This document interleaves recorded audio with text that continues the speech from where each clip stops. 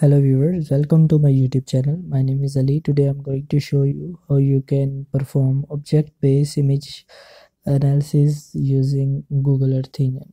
So here i will explain how you can perform uh, image classification by using this technique.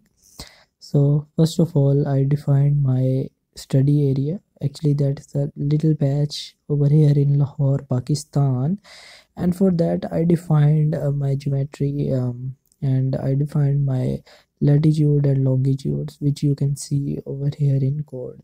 So after that I filtered sentinel-2 imagery and I selected pixel value as less than 30 and I filtered it for 2023 first month which is January and here I selected band dot uh, asterisk. Actually that means to select all the bands. It, it, it, it is actually used to select all the bands.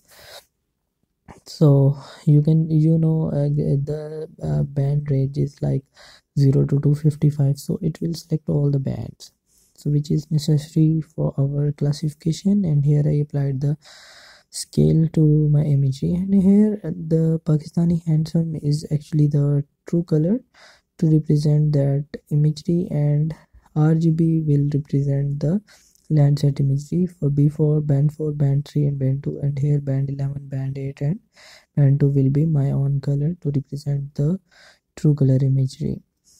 Now here's the main thing that I defined training polygons actually these are the objects which i'm going to take as uh, my classification sample. So for example bare soil uh, can be my roads and things.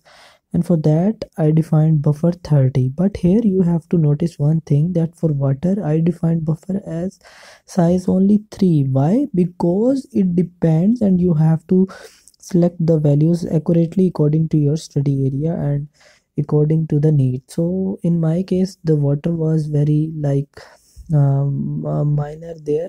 So for that i selected buffer size as 3 and for other classes i selected 30 so it's up to you. You have to select the accurate value that suits to your study area and your needs. Then you can select buffer size and range. So later i will also show you how i selected and assign this size to the buffers when I will show the imagery. But first I'm showing you the code here. So here I defined latitude and longitude for each sample. You can see in the code geometry point. And after that I assigned that those points as classes. So I defined five classes. And I after defining my five classes. I also applied a supervision technique here. I applied random classifier okay? And uh, then i trained it on uh, my classes. And here's the palette and color palette i'm using. So you can just select this color palette according to your own needs. And minimum and maximum means that i got five classes so i'm just going to represent five classes. So here's the legend. So for example it's land cover classification. You you can also replace it with object based image uh, assessing image analysis or image classification. So it's up to you how you select your legend.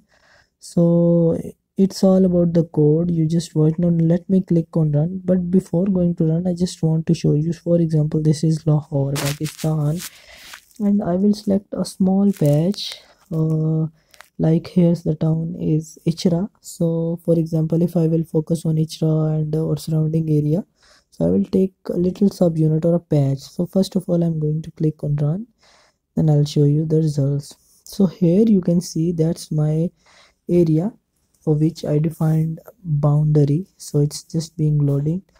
So here you can see and the green one appearing as my classified image. So I'm just going to uncheck all the options to get back to our main imagery. So this is our final object based image classification. So here you can see bare soil uh, grass is actually grass. Khel wale gardens uh, are actually child child playing grounds and and the urban and the water area. And remember i told you that for water i, I just selected buffer size or as a 3 why? Because here i'm just going to show you by zooming in. By I will show you my training areas that why I selected three because you can see the water is like very uh, acute here. For for example if I click on uh, this training area. So you can see and you can feel why I selected buffer size so small because it was according to the need. So for example if i click on sentinels oh sorry on satellite imagery so you will feel that water is very very rare. Here it's canal uh, uh, with uh, like it's uh, near to uh, Muslim Town Mor. So you can see here the water is like not that much abundant so our training sample will be smaller. But here you will see that uh, you can see that the grounds are a bit larger so that can be like Gaddafi Stadium or different. And you can see for other classes I selected a buffer size as 30 to get my desired area. Now for example this one is a handsome Pakistani true color imagery. And you can see uh, this one. For example if I uncheck my training areas. So you can see that's the area and that's the RGB uh, Landsat I also loaded to visualize. And the final one is our classified imagery which I classified on this study area. So for example this is my Lahore area Samnabad Ichra and this this side uh, you can see classified. And this one is my final classified image.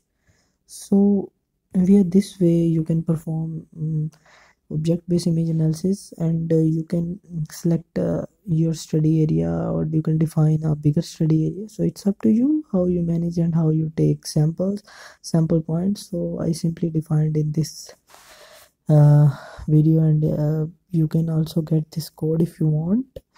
Just simply mail me. So it was all about the object-based image analysis classification uh, object based image classifications. So i hope that you liked. If you are new to my channel please subscribe and hit the bell, and bell icon. Thank you for watching my video. Stay blessed. Allah hafiz. Take care. Bye